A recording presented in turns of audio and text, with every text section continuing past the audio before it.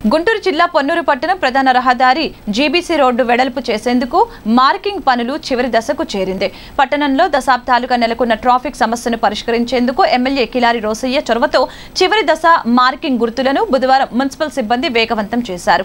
Municipal surveyor Satyanarayana TPO Raghuram నేతృత్వంలో సిబ్బంది road వెడల్పు కొలతలు తీశారు.